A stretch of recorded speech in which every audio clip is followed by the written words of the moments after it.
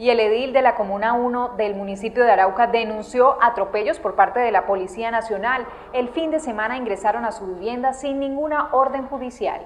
La edil de la Comuna 1 del municipio de Arauca denunció que la Policía Nacional ingresó a su vivienda sin ninguna autorización de alguna orden judicial. Anoche, a la, por ahí seis y media, siete de la, de la noche, estamos en la casa viendo televisión con mis nietos, mis hijos, y de pronto irrumpe mi sobrino, venía todo en una moto y, entró a la casa. Detrás de él venían, venían cuatro o cinco policías, no los conté, y entraron entraron detrás de él, les, pedí explicación, que me explicaran qué estaba pasando. Nadie me quiso dar información, entraron totalmente violentos y estaban ahorcándolo, sacándolo a la mala de adentro. Y yo le dije, pero explíquenme, hablemos. No, no me dieron la oportunidad de, que habláramos. Esa gente demasiado, demasiado, demasiado violento, esos policías. Eh, mi, hija se agarró de un policía, no ahorque, no ahorque a mi tío porque lo estaban ahorcando. No lo ahorque, por favor, dejen que hable. No sabíamos qué había pasado.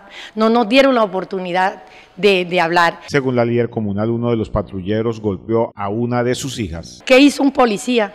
que le tengo fotografías, me se ensañase con mi hija, me le dio una trompada en la cara, la reventó. Esa niña estaba llena de sangre. Y, no, no les bastó eso, sino que nos atacaron a piedra. Cuando la comunidad se dio cuenta que la policía nos estaba atacando, cuando yo me di cuenta estábamos rodeados de comunidad. La comunidad quería darles piedra. Porque, eh, ¿Por qué atacar a los ediles en esa forma? ¿Por qué no nos dan, la oportunidad de que hablemos? ¿Qué le pasa a esa policía si, si ellos son los que tienen que dar ejemplo? Entonces, ¿en qué estamos? ¿A quién tenemos nosotros que confiar? ¿En ellos o en quién? Al parecer, los patrulleros de la policía causaron daños materiales en su vivienda. Los vidrios de la, de la casa los lo partieron todos.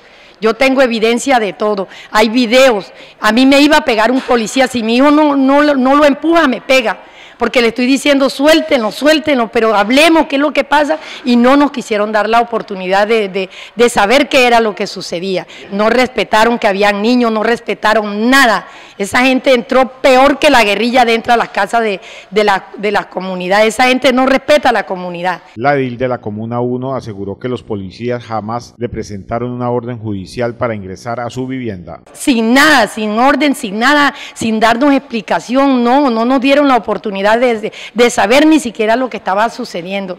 Entonces yo le digo, ¿por qué tiene que haber abuso de autoridad? Por eso es que a la policía no la está respetando la comunidad, es por la forma en que ellos actúan, porque yo le estaba pidiendo explicaciones, ellos tenían que saber por qué venían persiguiendo a mi sobrino, explíquenme, yo hablo con mi sobrino, pero no, no me dieron la oportunidad de hacerlo, entraron totalmente violentos, no tuvieron que ver que habían niños sentados en el suelo, pasaron por encima, luego cuando partieron partieron los vidrios, hay varios, varios, varios se cortaron, porque ellos partieron sin compasión los vidrios, no tuvieron que ver con nada. Por último, le hizo un llamado a los altos mandos de la Policía Nacional para que les explique por qué ingresaron a su vivienda sin ninguna orden judicial.